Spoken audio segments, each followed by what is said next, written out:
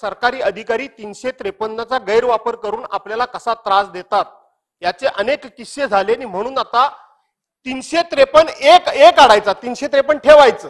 तुम्ही उपमुख्यमंत्री म्हणून जबाबदार म्हणून गृहमंत्री म्हणून आणि याच्या पाठीमागची भावना लक्षात घेता आपण तात्काळ त्या अधिकाऱ्याला निलंबित करावं ही माझी मागणी आहे. अध्यक्ष महोदय सन्माननीय भास्करराव जाधवांनी जो विषय मांडला आहे एक तर त्यातला पहिला मूलभूत विषय तीनशे त्रेपन्न एच्या संदर्भात. खरं म्हणजे तीनशे त्रेपन्न ए आपण ज्यावेळी आणला त्यावेळी ही भावना होती की अधिकाऱ्यांना प्रोटेक्शन मिळालं पाहिजे.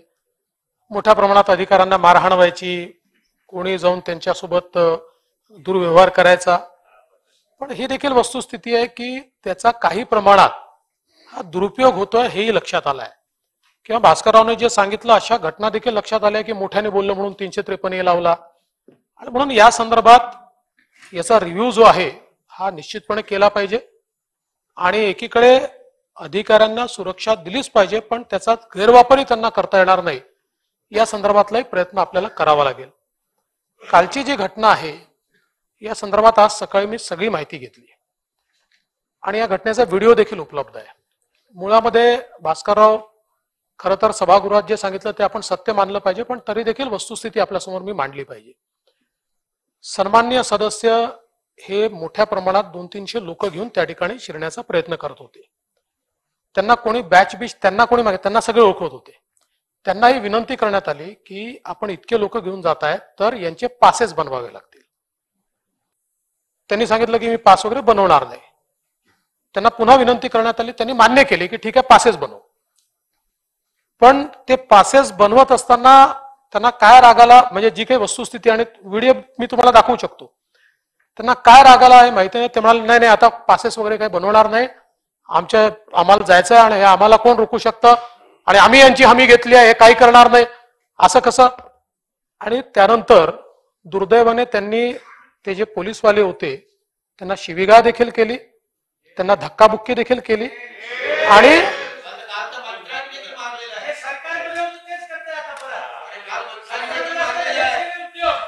नाही. नाही. पासून बोलू नका. आणि आणि आणि ते धक्काबुक्की करून ते त्या ठिकाणी आत शिरले. आता प्रश्न एवढाच आहे की आता ते ठीक आहे आपल्या पक्षाच्या नेत्यांनी बोलवलं होतं आणि आपल्याच पक्षाचे होते. पण शेवटी पोलिसांवरही जबाबदारी आहे. तो सगळा परिसर आपल्याला माहिती आहे. मंत्री असतात विरोधी पक्ष नेते असतात मोठे नेते असतात. उद्या कोणी जर दोन तीनशे लोक घेऊन तिथे शिरलं आणि आंदोलन केलं मंत्र्यांच्या याच्यात अटॅक केला. तर यातनं मोठ्या प्रमाणात अडचणी तयार होऊ शकतात. आणि म्हणूनच ठीक आहे तुम्ही आणलाय तुमचा आग्रह तर पासेस तयार करा. अशा प्रकारचं त्यांना निवेदन करण्यात आलं होतं. तथापि आपण हा सगळा मुद्दा मांडलेला आहे. जरूर या संपूर्ण मी त्याचा व्हिडिओ आपल्याला दाखवतो त्याचा व्हिडिओ पूर्ण उपलब्ध आहे. तरीही या सभागृहाचे सन्मान्य सदस्य असल्यामुळे याची उच्चस्तरीय अधिकाऱ्याकडनं पुन्हा फेर चौकशी केली जाईल.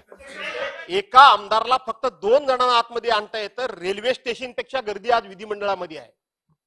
कसे काय आले हे एवढे लोक? त्यांना कुठल्या कायद्यानं पासेस मिळाले हे एवढे सगळे? दोन गोष्टी आपल्याला सांगतो. एक तर या सभागृहात ही गोष्ट खरी आहे की खूप लोकांना आपण त्या ठिकाणी प्रवेश देतो माननीय अध्यक्षांना तो अधिकार आहे. पण यातला कोणी बिना पासचा नाहीये. आणि तिथे त्यांना आणू नका असं नाही म्हटलेलं. त्यांना सांगितलं की पाच एवढे लोक तुम्ही आणताय तर नाही काढतो ना आपण. नाही तिथला नियम असा आहे एकतर नावं दिले जातात. म्हणजे जो मंत्री किंवा ज्याच्याकडे डेलिगेशन येतं कारण त्यांचं घर माझ्या घर म्हणजे मी जिथे राहतोय देवगिरी त्याच्या बाजूलाच आहे. एक दोन हे सोडूनच आहे तिथेच आहे. त्याच रांगेमध्ये विरोधी पक्ष नेत्यांचंही घर आहे. तर त्या ठिकाणी एकतर जे काही डेलिगेशन लोक घेऊन येतात त्याची नावं दिली जातात. की हे येणार आहेत पोलीस त्यांना विचारतात त्यांची नावं पाहतात आणि त्यांना सोडतात. किंवा मग जास्ती लोक असतील तर त्याचे पास आपण पाठवतो ते पासेसच्या माध्यमातून पाठवतात.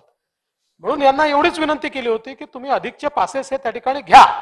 पण ते काही शेवटी आपण कधी कधी आमदार असल्यानंतर आपल्याला असं वाटतं की आम्हाला पास मागतो काय आम्ही काय म्हणजे असं एक थोडी भावना त्या ठिकाणी असते. दुसरं आपण जे म्हणता ना असं तीनशे त्रेपन्न एक काढून टाकण्याचा कुठलाही अधिकार मला नाही आहे हा इन्व्हेस्टिगेशनला आहे आणि तो कोर्टाला आहे. म्हणून मी सांगितलं की वरिष्ठ अधिकाऱ्याकडनं चौकशी करू आणि त्यांच्या रिपोर्टमध्ये आलं की आपण सांगताय ती वस्तुस्थिती आणि जी वस्तुस्थिती म्हणजे व्हिडिओ आहे किंवा जे काही पोलीस सांगतायत ती नाही आहे तर निश्चितपणे आपण त्या संदर्भात तीनशे त्रेपन्न त्या अहवालाचा आधार घेऊन ते आपण काढू. क्रमांक नऊ असं आहे की सभागृहाच्या कामकाजात भाग घ्यायला अडचण नसतेच.